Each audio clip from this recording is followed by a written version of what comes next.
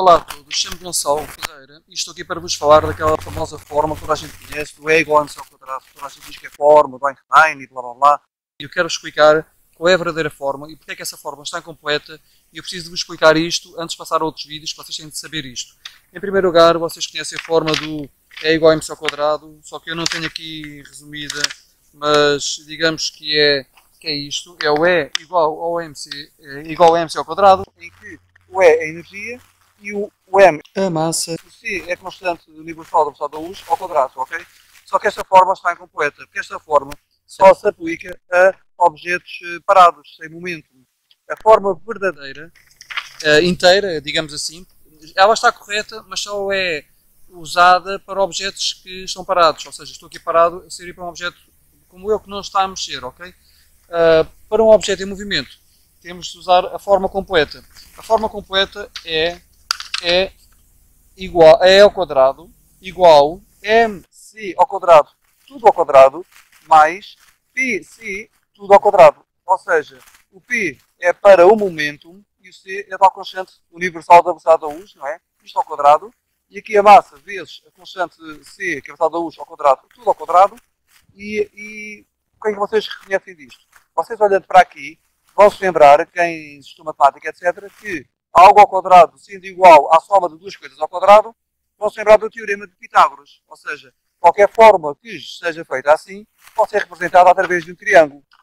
E aqui temos que a energia, que a hipotenusa, não é? A hipotenusa, é, a hipotenusa ao quadrado é igual à, à soma do quadrado dos catetos. Ou seja, a hipotenusa sem nada é igual à raiz da soma do quadrado dos catetos. Uh, e nós podemos representar isto assim porque isto é nitidamente um triângulo, porque a matemática é uma linguagem universal e nós, uma forma destas, podemos representar num triângulo. E isto é um exemplo de como o universo é criado de forma milimétrica, com, é matemático, é matemático. A linguagem daí ser uh, a língua universal. Nós temos aqui o E, que é a energia, que é a hipotenusa, é o lado maior de um triângulo reto. Estão a ver 90 graus, triângulo reto. E vamos pôr aqui o mc ao quadrado, massa vezes velocidade ao quadrado, e aqui embaixo o pc, que é o momento vezes a velocidade.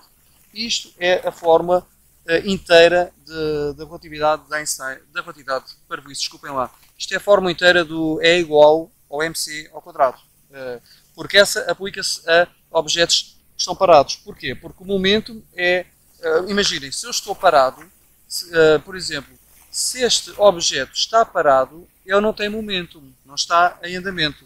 Uh, porquê? O momento, o momento de um objeto pode ser definido como massa em movimento, ou seja, o, o objeto a mexer, quando o objeto tem massa, como isto tem massa e está a mexer, tem momento, ok? Porque tem a sua massa em movimento.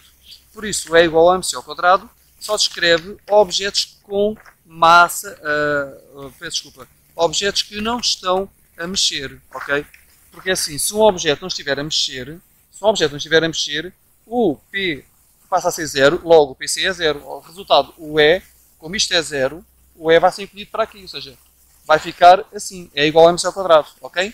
Se pelo contrário ele uh, não tivesse qualquer massa, fosse tipo um fotão de luz, e uh, tivesse momento, então a massa era zero, o E caía para aqui, e aí teríamos E igual, uh, igual, e igual a PC, ok? Pronto. Uh, pronto, isto é um objeto com massa, ok? Isto é um objeto com massa. E quando ele está parado, podem usar a forma E igual mc ao quadrado. Quando uh, o objeto está em movimento, então, nesse caso, uh, o objeto passa a, a, ter momento, passa a ter momento e a partir daí não podem usar só esta forma, porque se o objeto tem momento, o PC não é zero, não podem ter isto. Aí neste caso tem que ter isto, isto, isto, ok? E uh, eu depois no outro vídeo, uh, já agora preciso falar uma coisa. Eu, eu falei como, por exemplo, um fotão de luz, uma razão, porque no fotão de luz uh, há vários tipos de fotões. Os fotões são como que agentes transportadores de radiação eletromagnética e há muitos tipos de fotão, de fotões, não é? por isso eu falei um fotão de luz. Agora, podemos dizer por exemplo, quanto mais. Eu isso irei falar no outro vídeo. Eu vou falar no outro vídeo.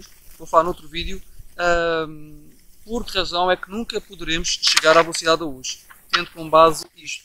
Porque esta, com esta fórmula e esta representação geométrica da fórmula E igual a ao quadrado, eu posso vos explicar porque é que é impossível um objeto com massa chegar à velocidade da luz. Com massa, não é um fóton de luz, esse que chega à velocidade da luz facilmente, eu já irei explicar porquê. Vejam o vídeo que eu irei colocar na descrição ou no fim do vídeo. Eu espero que tenham compreendido isto. Saibam qual é a real fórmula de Einstein. Esta é a forma que, dá, que é a origem, dá para aplicar a tudo. A partir dela, se não houver movimento, temos o E igual a mc ao quadrado. Porquê? Porque o E ao quadrado igual a mc ao quadrado. Óbvio que os quadrados temos E igual a mc ao quadrado, ok?